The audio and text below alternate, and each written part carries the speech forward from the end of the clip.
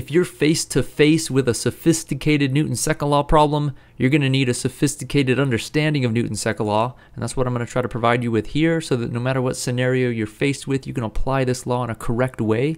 Most people know Newton's second law as F equals ma, which is fine. It's a simple way to understand it, and it's fine for simple problems. If I had an asteroid, for instance, of mass m out in outer space so there's no air resistance or friction, and there was only one force on it, a force F, and that force pointed to the right. Let's say that force was 50 newtons. Well, I could plug the 50 newtons into the force.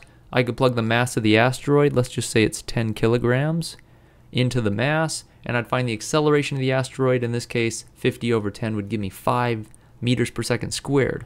But what if we had extra forces on this asteroid? What if there was another force that pointed to the left that was 30 newtons? So let's call, let's name these now. Let's call this F1 is 50 newtons. Let's say that's the magnitude of that force.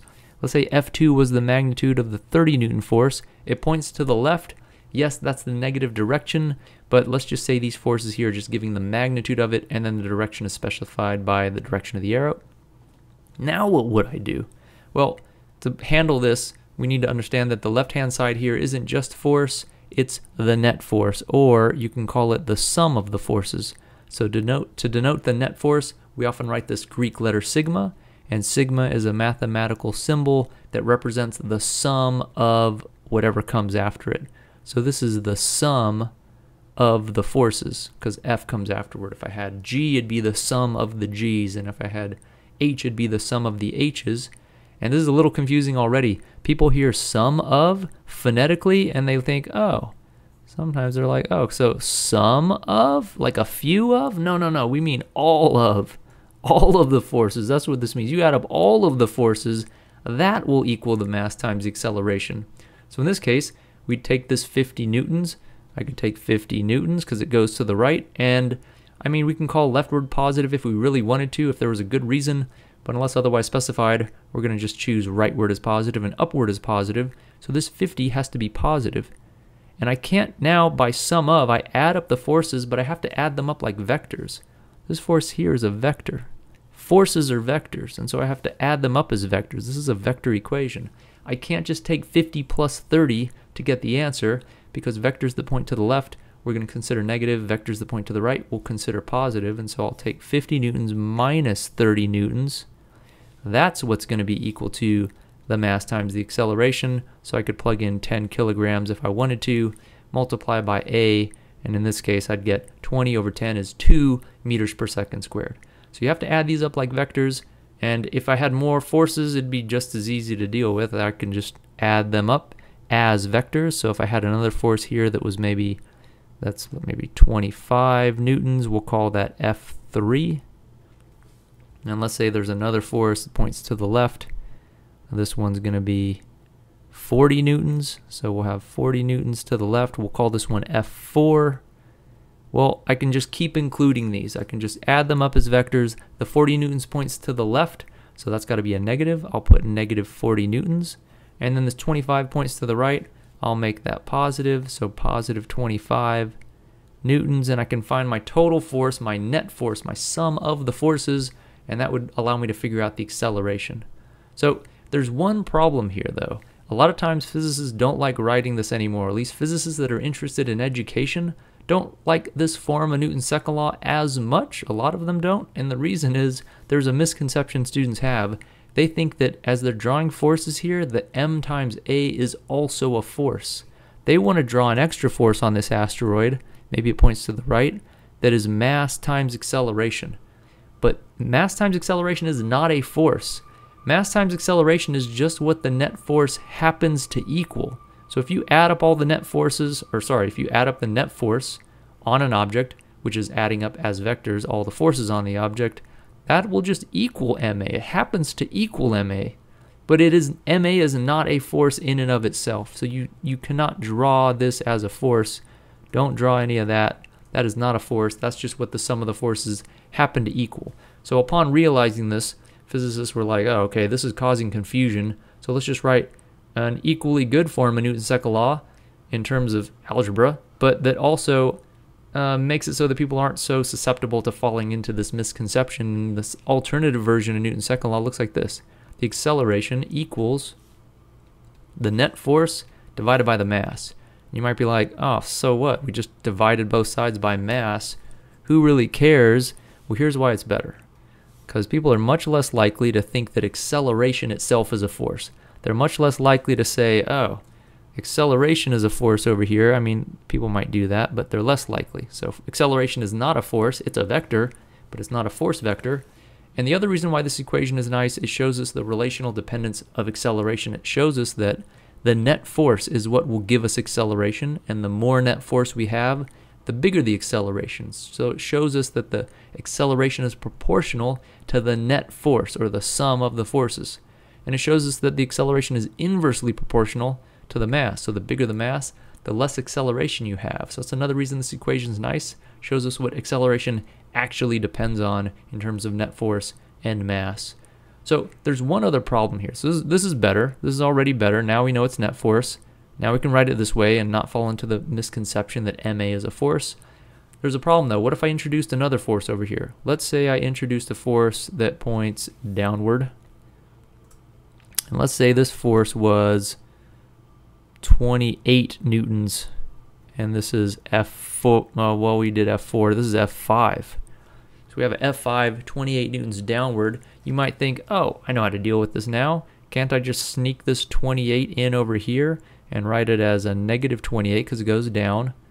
Can't I just put negative 28 right there? And it turns out you cannot do that. That is not allowed. And the reason is, just like we couldn't take 50 plus 30 because we're adding these up as vectors, and leftward meant negative and rightward meant positive, we can't take a vertical force and just add that magnitude or subtract it from the magnitude of the horizontal force.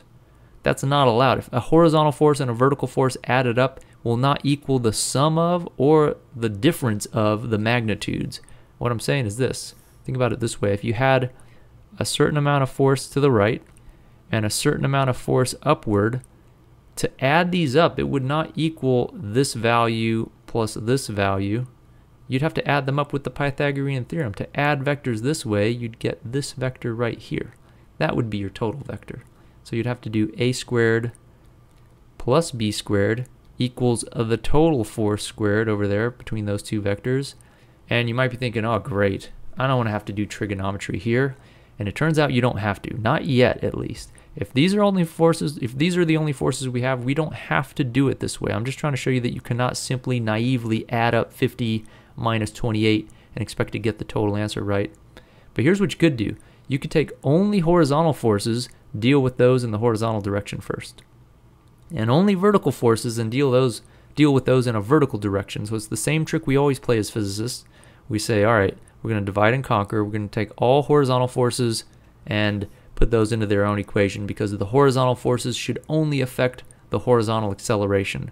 So if I just want horizontal acceleration, I can take only horizontal forces, add those up, and get the horizontal acceleration.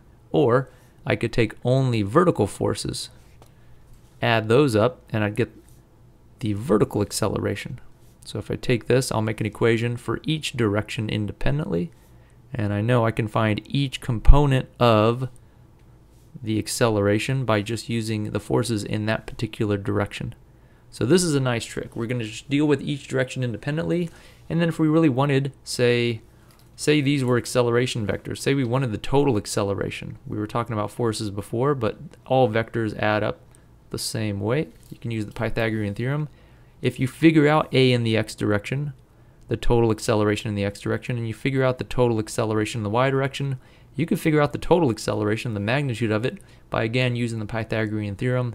And so this is just a way to deal with, this is a handy way of dealing with these forces that point in multiple directions let me stick one more force in here just because we should have one that points up and then we have all possible directions here. All right, so if, if this force F, what are we on, 6 is going to be, maybe that's about 42, it's a good number, newtons upward.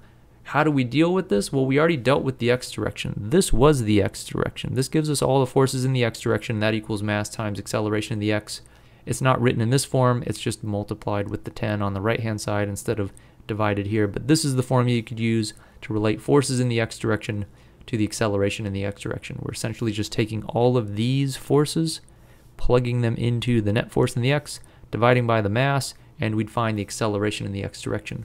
For the y direction, we could say that acceleration in the y direction would be the net force in the y direction. So how do we deal with this? Only vertical forces are going to be affecting the vertical acceleration.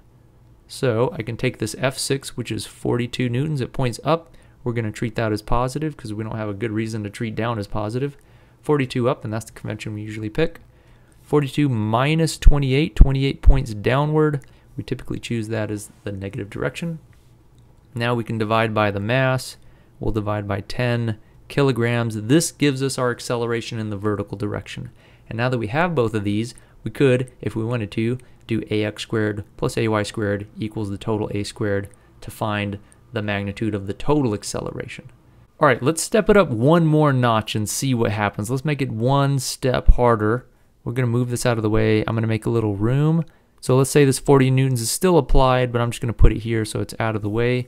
Let's say there was one more vector involved, one more vector that points this way, and let's say the size of that vector, we'll call this one F7. Let's say F7 is 45 newtons. Okay, 45 newtons applied at an angle, let's just say from that point of 30 degrees. How do you deal with this? This is an even more sophisticated Newton's second law problem. Here's where it starts to frighten people. They don't know what to do. A lot of times they try to just throw this 45 newtons into one of the equations. They think the 45 maybe should go in the x equation because it points left. That's horizontal, that's x. But it also points vertical. Sometimes they throw the whole 45 into the vertical equation. Maybe they do plus 45 over here.